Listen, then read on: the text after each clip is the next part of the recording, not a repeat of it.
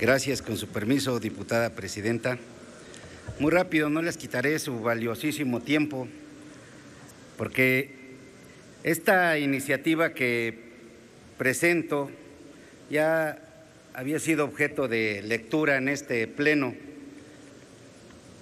pero por cuestiones presupuestales no tuvo este, viabilidad y nuevamente la estamos presentando en los mismos términos.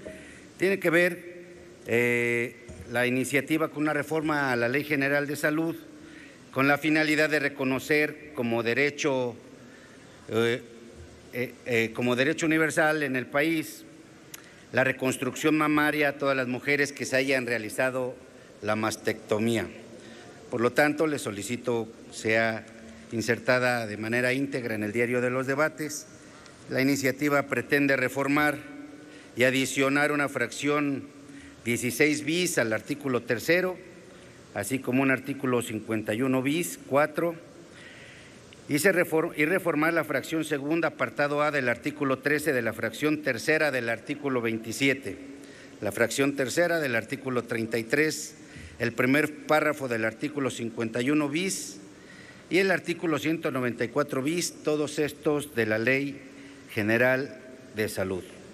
Sería cuanto en relación a esta iniciativa.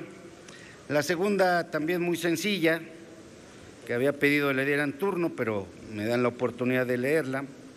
Solo les diré que se trata de una reforma a la Ley General de Instituciones y Procedimientos Electorales que pretende reformar los artículos 380 y 394, fundamentalmente para darle concordancia numérica, toda vez que hay que corregir de repente algunas omisiones o errores que de repente se nos van a los legisladores y solo pretende darle concordancia, eh, ordenar de manera adecuada y correcta los incisos que en este par de artículos se están solicitando su reforma.